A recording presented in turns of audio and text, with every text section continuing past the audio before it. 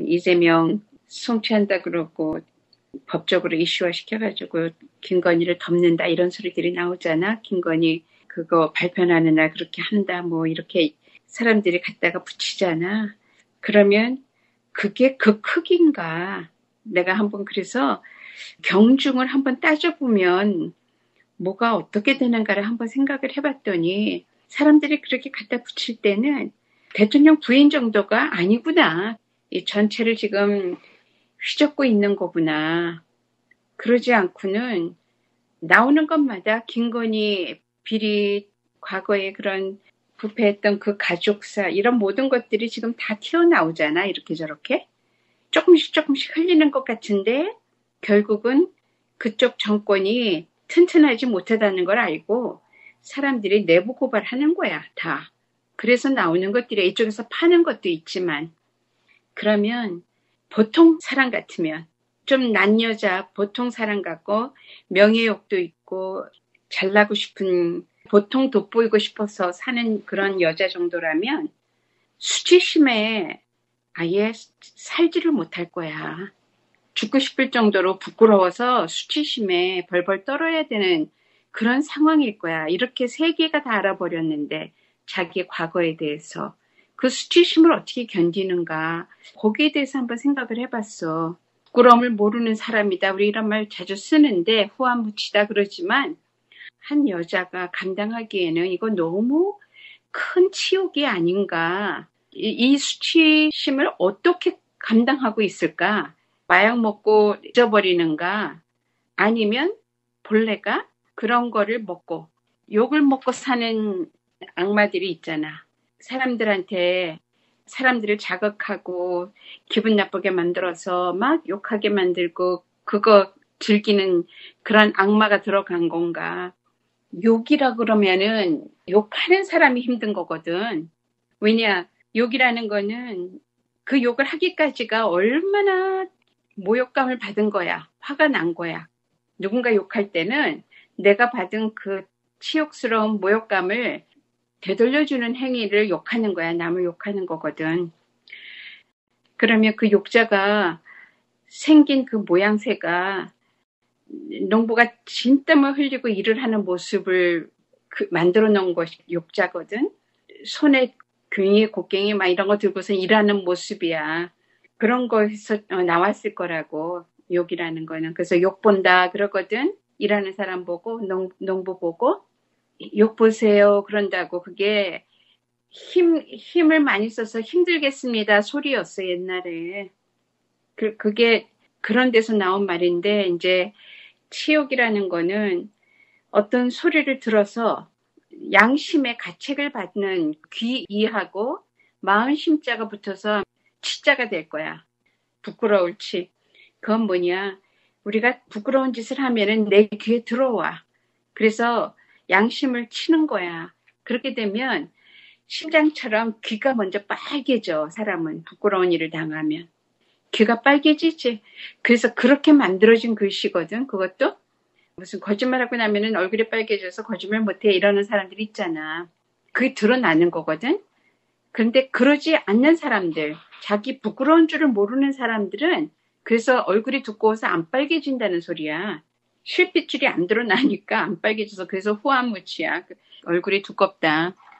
그러면 이 김건희라는 사람의 그 정신 건강 상태는 어디쯤인가 한번 진단을 해보는 거지. 어디까지 악마가 파고 들어갔는가. 우리가 상상 못하는, 못할 정도로 윤석열은 그래도 조금 드러날 때가 있어, 얼굴에, 표정에. 실룩거리고 이러는 게 있거든. 사람처럼 이렇게 바보같이 희죽 웃거나 뭐 이런 것들도 있고. 그런데 김건희는 그런 게 아니라 자기가 냉정한 것처럼 마녀들이 하는 표정을 짓잖아. 이 사람은 99% 잡아먹혔나 보다. 이런 생각이 들어. 윤석열은 한 70% 잡아먹혔으면. 그럴 정도로 수치라는 거를 모르는 건 오히려 즐기는 거거든. 니네들 그래봐. 니네들 마음대로 해봐. 니네들이 그렇게 떠들어 봤자 나를 욕을 해대고 그래 봤자 네 입만 아프지. 욕이라는 거는 남을 일하게 만드는 거야. 힘들게 만드는 거를. 욕하게 만들 정도 진을 빼는 일이거든. 자기 딴에는 당당하게 나쁜 짓을 그냥 맘 놓고 하는 거야. 그걸 해놓고는 나머지는 너네들이 다 알아서 해. 이거잖아. 내가 안 시켜도 다 알아서 해결한다며. 그러니 주변에서 어 그렇게 알아서 해결하라 그랬으니까 막 봐준다 해준다고 이 말 저 말 했다가 또 덮고 빌렸다 아니다 현지에서 빌렸다 아니 친구한테 빌렸다 별의별 소리가 다 나잖아.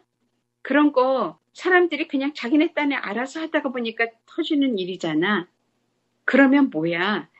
아예 입도 갖다 못 붙이는 그런 영화 같은 거 보면은 악마 대마왕한테는 가까이도 못 가잖아. 사람들이.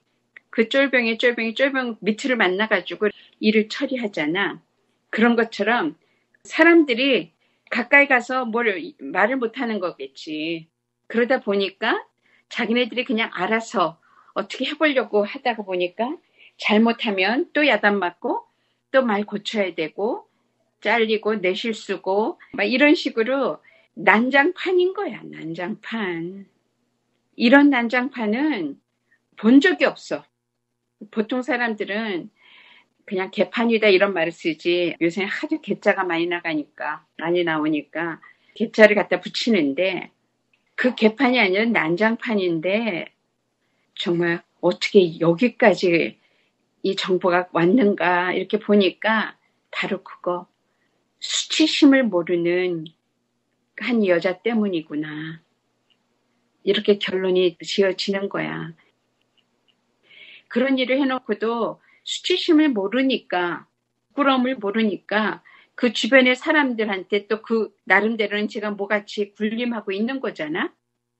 너네들 내 말 안 들으면 어떻게 될 줄 알아? 뭐 이런 식이잖아. 거기에서부터가 다 꼬여가지고 사람들이 자기네들이 뭘 어떻게 해야 될지 모르는 거야. 그러다 보면 똑똑했던 사람들도 바보 되기 마련이잖아. 그러기 십상이지. 정말로 정신 하나도 없겠구나, 거기는. 그 세계는 완전히 이판사판이다. 그냥 나 살고 보자. 그러고 마구 할 말 안 하면 막 하기 시작을 하면 이건 진짜로 난장판이 되는 거야. 수습이고 뭐고 없어질 거라고. 그러니 80명을 자른다는 소리가 나오지. 80명 잘라놓으면 자기가 능력이 있어? 뭐가 있어? 그걸 어떻게 메꿀 거야? 누구를 메꿀 거야? 아는 사람도 까짓건이잖아. 아는 사람 중에서도 도망갈 사람 벌써 도망갔거든. 진짜 실력이 있는 사람들이 왜 그런 데에 연연하고 있겠어? 실력 없는 이 김에 뭐 좀 하나 뭐 떨어지는 거 없는가 기다리는 사람밖에 없을 거 아니야. 그러면은 첫 번째 뽑아놓은 사람들도 그 모양인데 두 번째 채원 되는 사람들은 더 못하지.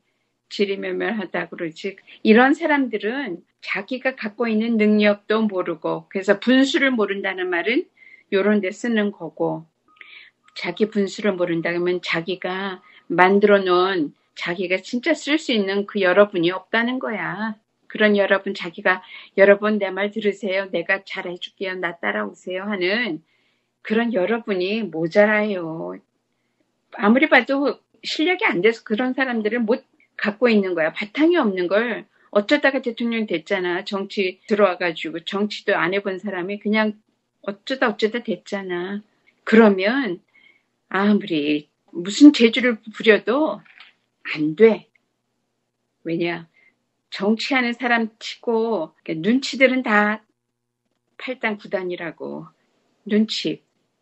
조금 시켜보니까 아 이거 아니야. 벌써 눈치들은 바삭하거든. 아주 바보들만 이 기회 놓치면 나 손해보는데 이렇게 해서 그냥 바보들처럼 줄줄 돼지떼처럼 돼지떼들 바다에 떨어져 죽는 것처럼 그렇게 그냥 쫓아가다가 한꺼번에 같이 침몰해요. 그런 사람밖에 없어 주변에. 그러면 어떻게 되느냐? 사람이 없다. 인적 자원이 없다. 이거 난감하지?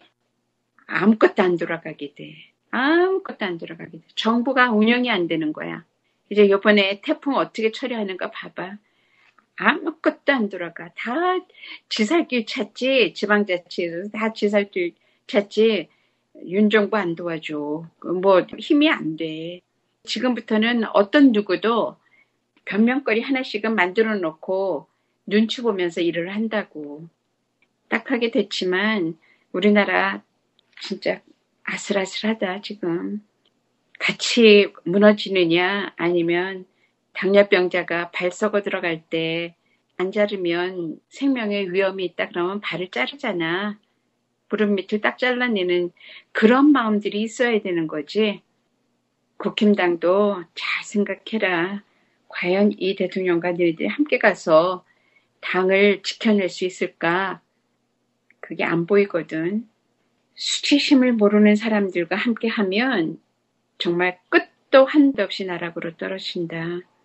그 수치심이라는 게 우리 인간의 어느 선을 지켜주는 그 양심의 그 징조거든. 양심이, 양심이라는 것이 있기 때문에 수치심을 느끼는 거고, 그것이 있고 없고가 하느님의 사람이냐, 악마의 사람이냐, 그, 그걸 나타내는 그 경계선인데, 악마 쪽으로 완전히 탁 키운 사람들은 그런 거 없어. 그래서 사이코패스라 그러지. 아무런 감각이 없는 거야. 감, 남 생각 안 해. 남이 뭐라 그러든. 어, 니네들 마음대로 해. 니네들은 그래? 어, 그래도 나는 내가 플랜 짠 대로 가. 이거잖아. 지금 김건희. 다들 조심해라. 그 주변 사람들은. 무슨 불똥이 틀지, 어물을 뒤집어 쓸지. 그 참, 조심, 조심. 둘 중에 하나는 뒤집어 쓰게 됐어. 수치심에 대해서 자기가 정치하는 사람들은 내가 얼마만큼 수치심을 견뎌낼 수 있는 사람인지 아닌지 한번 진단을 받아봐야 돼. 그 수치심을 못 견디는 사람, 도저히 모욕감을 못 견뎌내는 사람들은 박원순처럼 노무현 대통령처럼 그렇게 스스로 목숨을 끊을 수밖에 없는 거지. 많은 사람들이 그랬잖아. 이 모욕감 수치심 이게 얼마나 무서운 건데 그거를 강마들이 건드려 가지고 자살하게 만든다니까. 자기네들은 그런 거에 아주 강력하지. 자기네들은 니네들 아무리 그래봤자 나 아무렇지도 않잖아. 근데 너의 약점은 거기 있구나. 그러고 마구 몰아대잖아. 그렇게 해서 정적을 죽이는 거야. 지금 이재명도 정적 죽이기 부끄럽게 만들고 사람들한테 욕 먹이려고 그렇게 자꾸 자꾸 걸고 넘어가는 거잖아. 별의별 악마와 범죄와의 싸움이라고. 그게 권성동 입에서 나오다니 자기가 바로 범죄 덩어리인데 재밌네. 그런 생각이 들더라고. 누가 더 많은 범죄를 졌는가 그것 한번 겨뤄보겠다는 거야. 그렇게 들리던데 내가 그 계에서는 내가 좀 뭐가 있거든. 그래서 범죄와의 싸움이다라고 하는 건가? 자기네 못 당해 이 소린가 보지. 수치심이 없는 사람들은 양심이 없는데 그러면 죄책감이 안 생겨. 그럼 죄책감이 안 생기는 사람은 우리가 고칠 수가 없어. 갱신을 못 해줘. 그거는 넘어가 버린 거거든. 사람이 그 사람을 종교단체나 뭐나 이런 데서 죄수들 찾아가서 마음 돌리게 해주고 뭐 이런 거 하잖아. 그러면서 막그 사람들 양심을 찾아주려고 막 그러는데 수치심이 없는 사람은 그게 안 되는 거야. 그 사람은 벌써 그 선을 넘어간 사람이거든. 사람이기를 포기한 사람들이거든. 아니면 거부를 했거나. 그러면 자꾸 자꾸 뜯어 고치는 거야. 자기를 못 알아보게.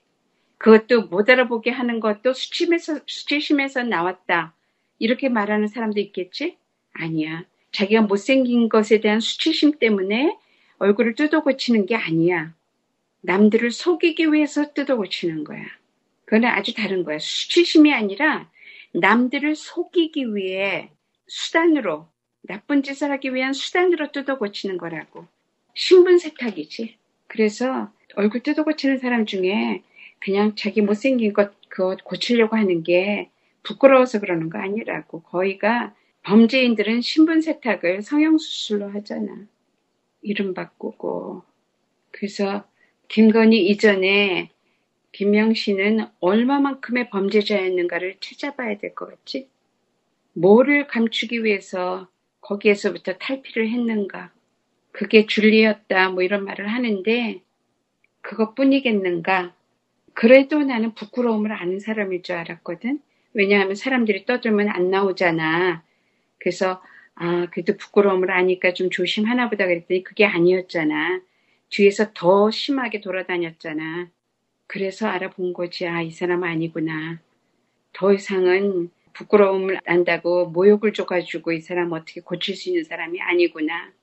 수치심 없는 사람한테 모욕 줘봤자, 욕해봤자 뭐해. 근데 윤석열은 그거에 대해서 조금 반응을 하는 사람이야. 자기에 대해서 이상한 노래가 나오고 욕이 나오려면은 발끈하는 그런 게 있거든. 근데 김건희는 그런 거 아랑곳하지 않아. 그 사람 완전 사이코패스. 사이코패스들은 이렇게 좀 뭐라 그럴까? 나는 이제 잘 모르지. 내가 그런 걸 어떻게 내가 알겠어. 영화로만 봤고, 책으로만 읽었고, 잘 모르지만, 단 한 가지 정확한 그건 어떤 게 자기한테 이익이 된다고 해서만 하고, 어떤 게 누구한테 해가 된다고 해서만 하고, 그런 거 아니야. 그냥 저지르는 게 많아. 저지를 때 그 쾌락으로. 그게 무서운 거지. 그래서 갈피를 못 잡아 주변 사람들이. 그러니까 도와준답시고 이 소리 저 소리 해줘도 다 안 되잖아. 막 이리 갔다 저리 갔다. 온통 혼선이 빚어지는 거야. 왜냐면 내 심을 읽을 수가 없어. 자기도 몰라. 그 환자 자신도 몰라. 그 환자라고 말을 한다면 좀 너무 올려주는 거지만 최고의 범죄자가 어떤 사람들이냐. 남에 대한 아무런 공감력이 없는 사람들. 그런 사람들이 최고의 범죄자가 된다 이거지. 그래서 그러니까 사이코패스는 뭐라고 표현을 해야 될까? 한동훈도 그런 쪽이지. 내색 안 하려고 안 하는 게 아니야. 그쪽 기관이 없어. 오죽하면은 고민정이 어떻게 그렇게 공감력이 떨어지냐고 그렇게 말을 했을까. 그게 그 증거야. 그 사람이 사이코패스라서 그래. 할 수 없어. 그런 사람을 올려다 놓고 장관을 시켰으니 어떻게 나라 국민들을 위해서 뭐를 해? 자기가 좀 기술자다 이래서 그거 해서 들어맞고 그거 해서 누구 딱 꺾고 뭐 하고 뭐 하고 하는 이런 재미 그것밖에는 지금 아무것도 그거 외에는 아무것도 마음에 안 들어와요 눈에 안 들어오고 어떻게 해서든지 골탕 먹이고 어떻게 해서든지 자기가 좀 똑똑하게 누구 후려잡았다 완전히 그런 식이잖아 그리고는 아, 자기는 다 내몰라라 어, 나 그런 거 아니라고 모른다고 아니라고 그냥 잡아 떼면 끝이잖아. 사람들 주변 사람들 난감하지. 그런 사람 위험해서 큰일 났어. 우리 너무나 많이 그런 종류가 많이 나왔어. 저기 대법관 후보자 오숙준 그 사람도 그런 중에 하나지. 누가 아프고 누가 힘든 삶을 살 거고 이런 것에 대한 아무런 감각이 없잖아. 그런 거에 대한 죄책감 뭐 이런 거 하나도 없는 얼굴이잖아. 말할 때도. 그런 거 없어. 아, 이럴 때는 사람들이 그러는구나. 그러니까 이렇게 말을 해줘야 되겠구나. 거칠의 정도의 내가 이 자리에 나와가지고 왜 그런 정도의 사람들 인생에 내가 왜 또 미안하다고 해야 되나 그런 얼굴이잖아. 그게 참 우리 그런 사람들만 데려다 놓은 정부가 야 이것도 참 대단한 실력이다. 대단한 실력이야. 그렇지? 너무 신기하지? 자기가 일할 그곳에서 가장 문제가 있는 사람들.